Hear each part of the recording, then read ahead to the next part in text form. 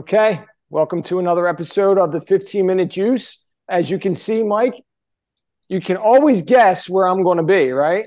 I don't have palm trees today. So, a uh, little colder here, a little colder here, but I'm back in the old stomping grounds. So, uh, I'm here and we have a freaking home run podcast today.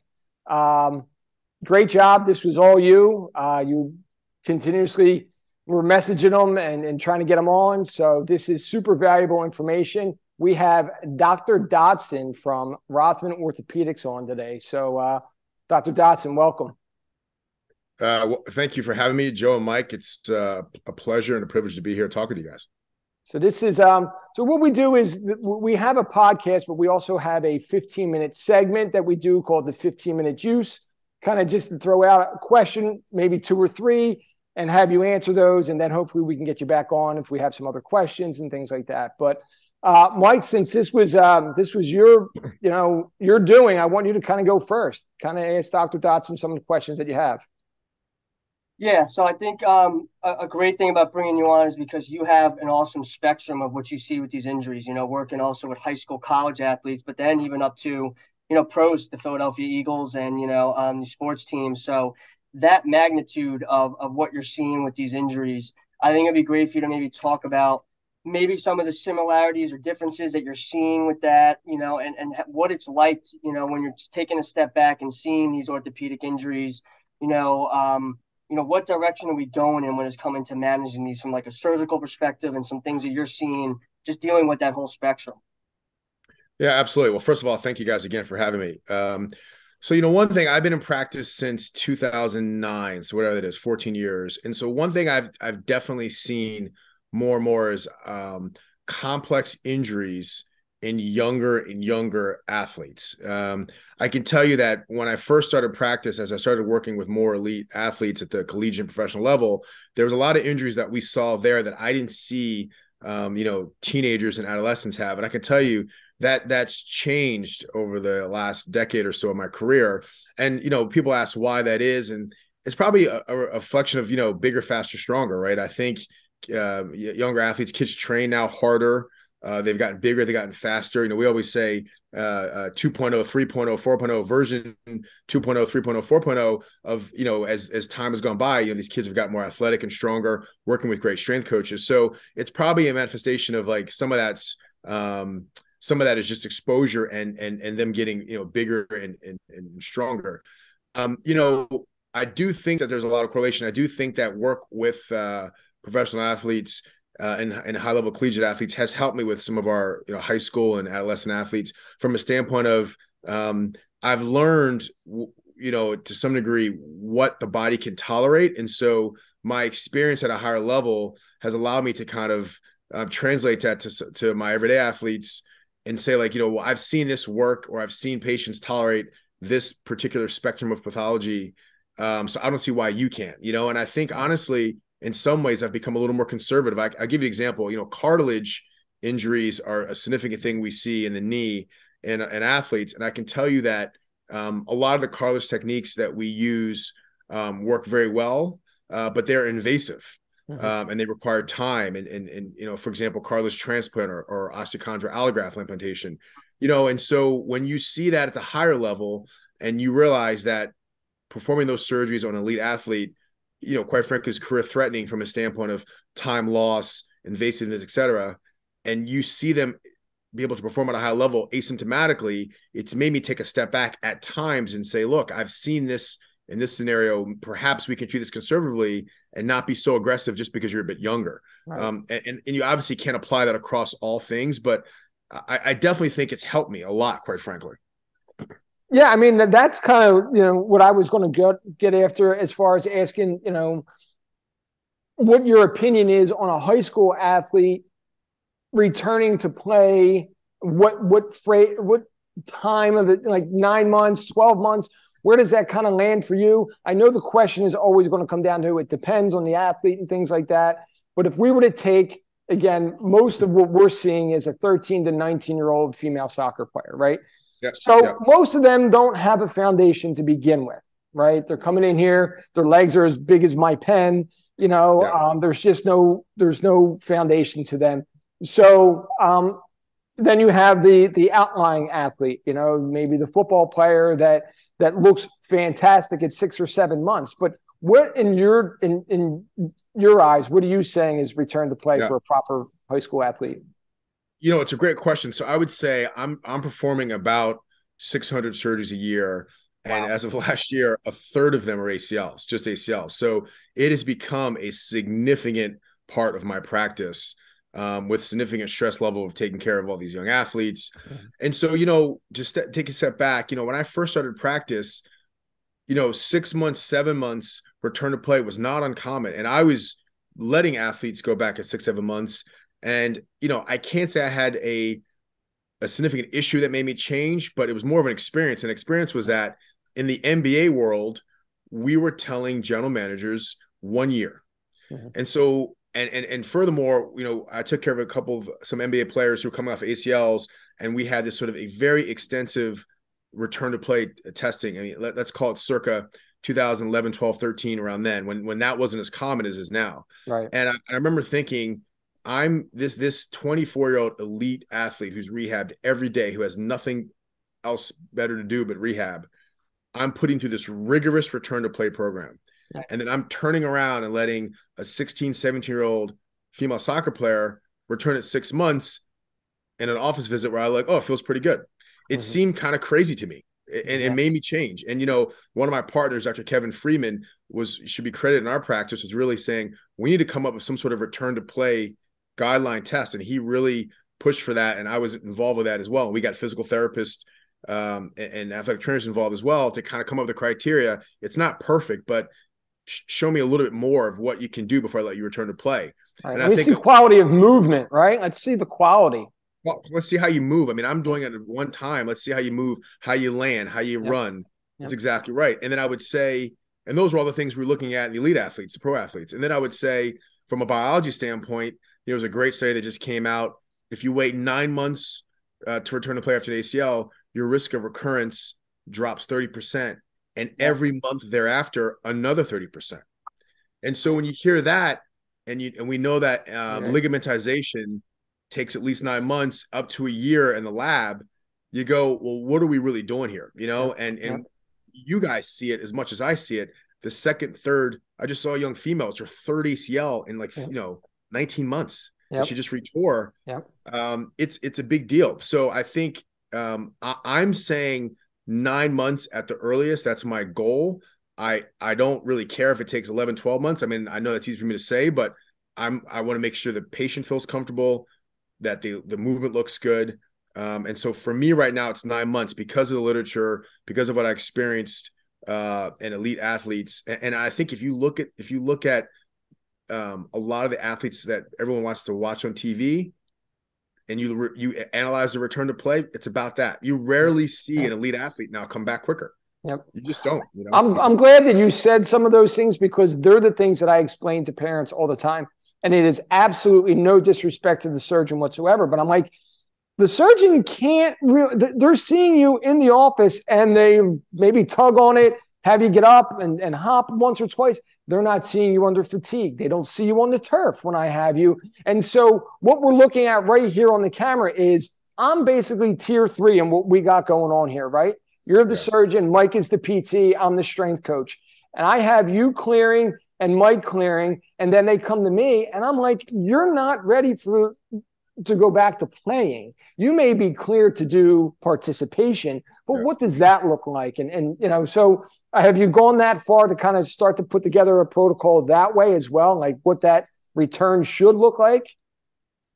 Absolutely. So so what I say to my patients now, so any, let's just say, I mean, I take care of a ton of of high school collegiate athletes who tear their ACL, a lot, right?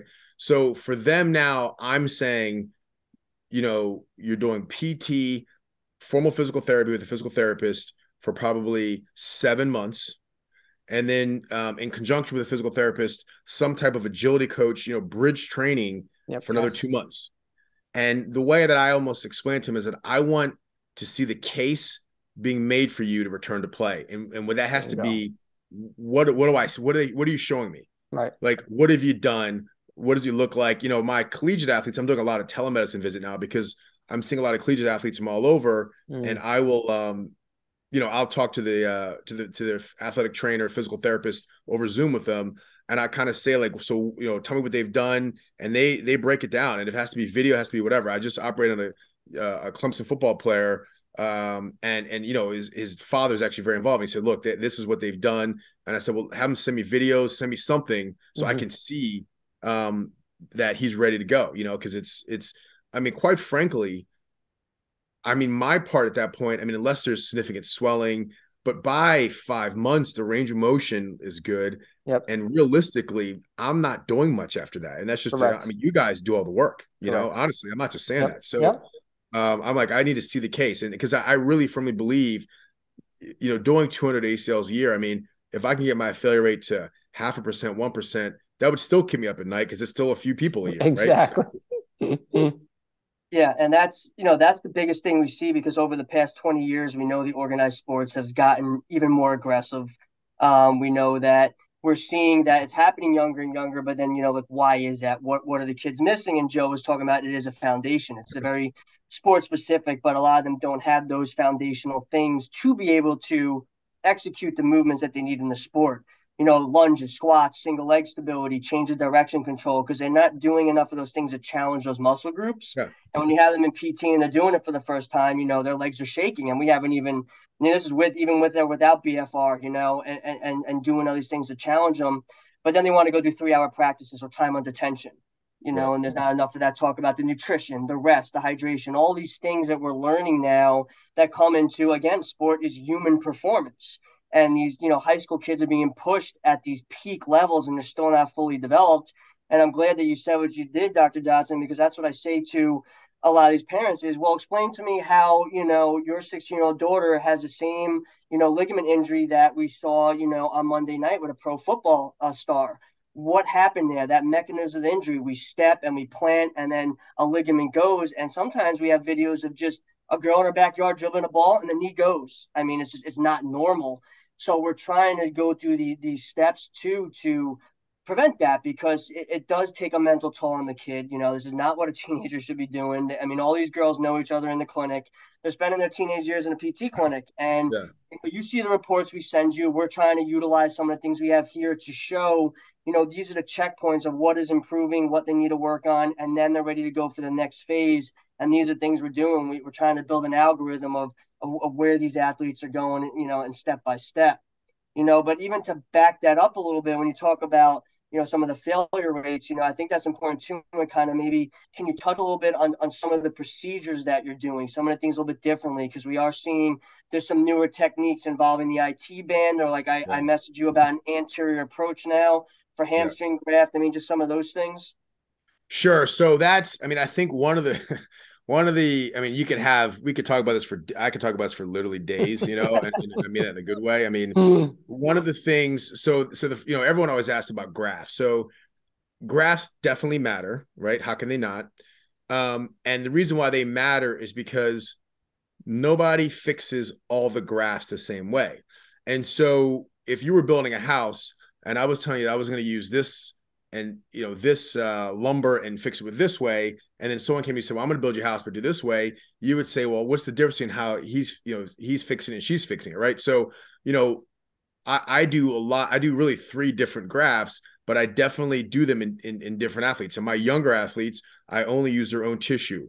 We're not sure why but it definitely seems to matter. If you use cadaver or allograft in younger patients the failure rate is much higher to the tune of 30% that's very well established now. So so why is that? Could you say it's biology? Could you say that they feel better quicker? We don't really know. Probably I think biology, but that kind of that kind of matters. Um, you know, I'm a big proponent of patellar tendon grafts for young competitive athletes. So in my practice, high school, collegiate, professional, lead ath- you know, athletes get patellar tendon graft because mm. I believe in that fixation and that graft healing.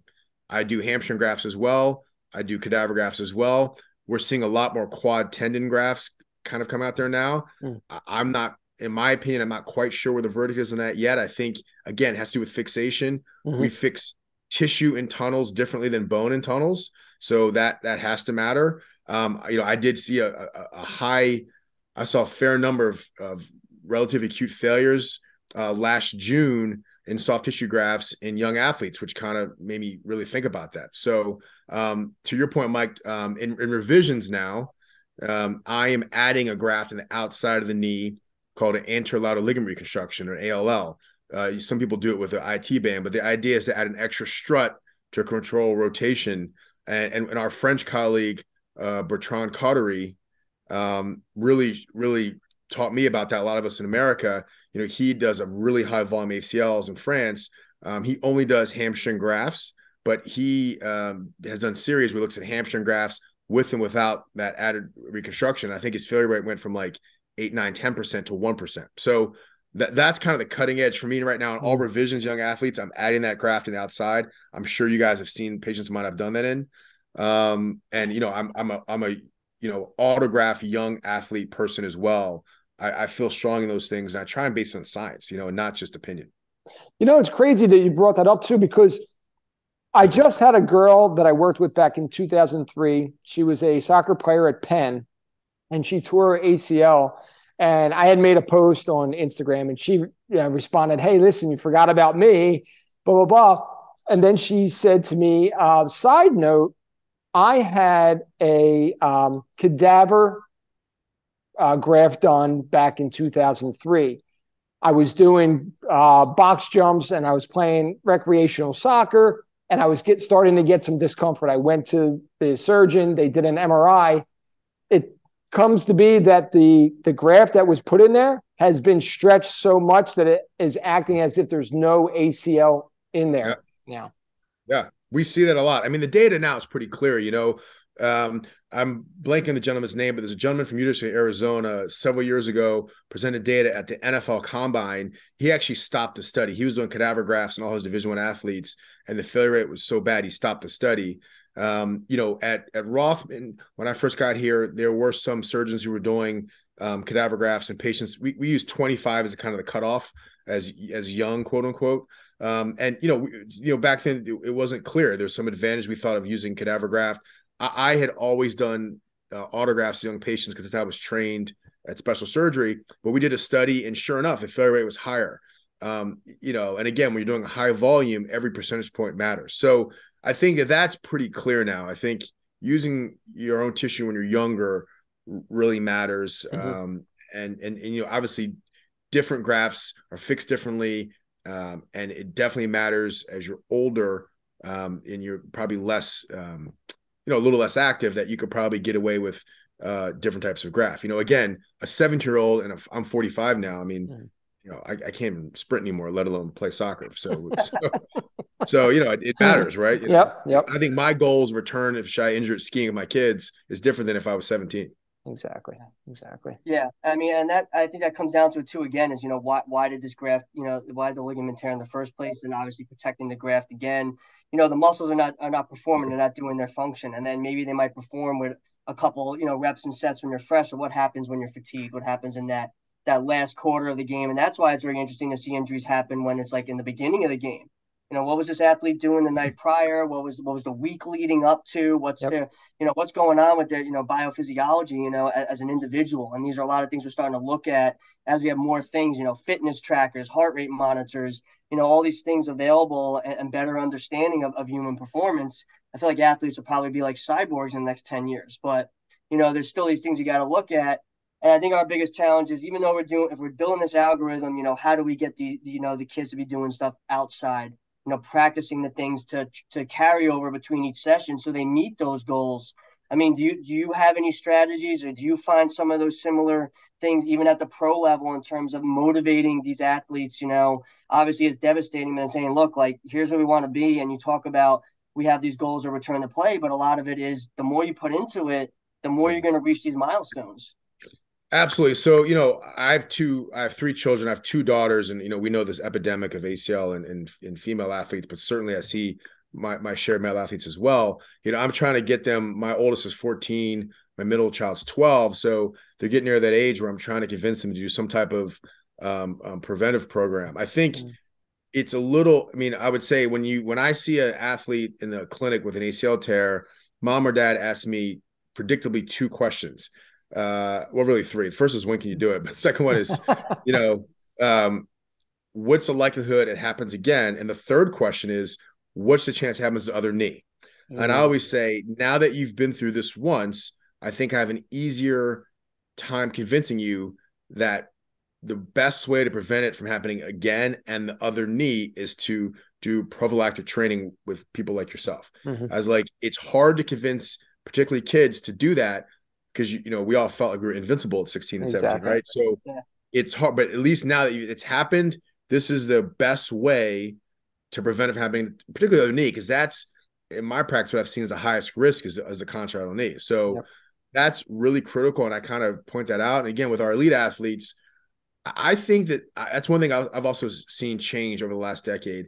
I think that they train more and harder and are more in tune to that and want to mm-hmm. have longevity in their career and prevent injury. I think the elite athletes get that at least seems to me more than they ever have. And so we don't have to say much. I mean, I, they, they, you know, we have phenomenal athletic trainers and physical therapists and all the teams that really work with them and, and do and do um, you know preventive stuff. So that they get the importance of being healthy and being available as far as longevity the career, contracts, etc. So we don't have to do much work with them, but uh, but you know, with the younger athletes, we have to. And I think unfortunately, it's easier to convince them when something bad's happened.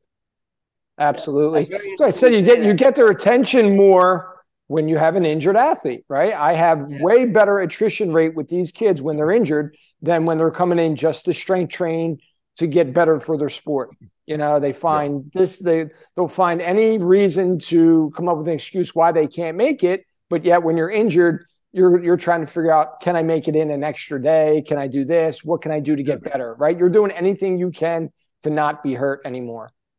And, and there's data behind that. You know, Bert Bert Mandelbaum, uh, you know, um, who's done a lot of work with U.S. Soccer. I mean, you know, he looked, he did that comparison of, um, he he he published that paper with the um with the uh, you know, proprioceptive strength program training program and compared it to uh two um, female soccer teams, one who did it, one didn't. I, I believe the number is 30% reduction in ACL injuries. It okay. was significant. So yeah. there's yeah. science behind it. I tell patients you can find that paper and find that program online. Like it's it's it's real. It's not this isn't like you know made up. So it's it's really important. Yeah, I mean, uh, I was going to say that too. That we would be doing the same things even if you didn't tear the ACL. Your deficits your deficits. Yep. Let's get to a for the ligament tears, and you have to go through all this because you have your deficits are your deficits. We have to work on that. You know, if you can't demonstrate these shapes and positions, especially under fatigue or high volume, that's the problem. And then eventually the muscles give out, and guess what takes the blow? The ligament. But it's interesting you said that too, because we are finding once we're analyzing these kids moving, the non-operative leg is the problem leg. I've seen that in probably nine out of ten past patients. It, it's wild. And they're saying, but this is my, my bad side. So that's why we're looking at some of these things that are comparing to the good side, but nobody said that that side was good. You know, right. you could be carrying a really bad leg to another bad leg. So we got to look at, you know, that's why the new studies are looking at the limb symmetry index with the limb quality index, what is both limb doing in these shapes and movements? You might be good here, but both your legs are not good in this position. So we got to work on those things. And now trying to look at, you know, that goes into the treatment program and, and all that. Dr. Dodson, I know we're up against the uh, up against our time here, so I do have one question. Yeah. I know you are a major part of the Philadelphia Eagles. So how does everybody? How is everyone feeling this week? You know, I think we're going to be. I think everyone's be ready to go. I mean, it's going to be a great environment. I'll be at the game Saturday night, and uh, awesome. uh, I'm, I'm looking forward to the team. Um, you've had such a great season. Um, you know, we have such a you know a great team, and it's a great locker room, and um, those guys are amazing. So hopefully, hopefully we get a W and keep it going. I think uh, there's a lot of excitement, and uh, I'm certainly looking forward to it.